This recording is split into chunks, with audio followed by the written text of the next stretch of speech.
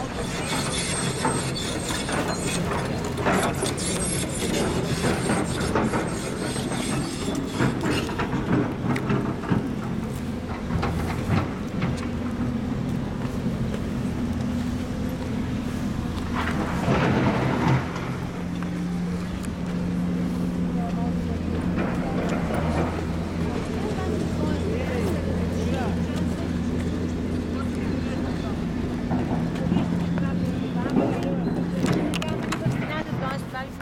Че а, стената, която е съществувала, е била прокопана, разрушена, положени са а, тръбите и а, отново е затрупано и вече в друго действие.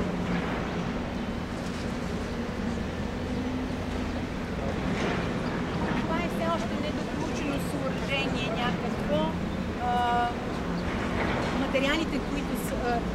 То е също е било разрушено частично А, Възможностите са, тъй като е широко за кладенец, кладенците обикновено се изграждат, и ще ви покажем тук, тъй като открихме кладенец. за вода, тъй като се изграждат обикновено с по-едри камъни, а и този отвор би бил широк за този начин на градеж, за да е кладенец.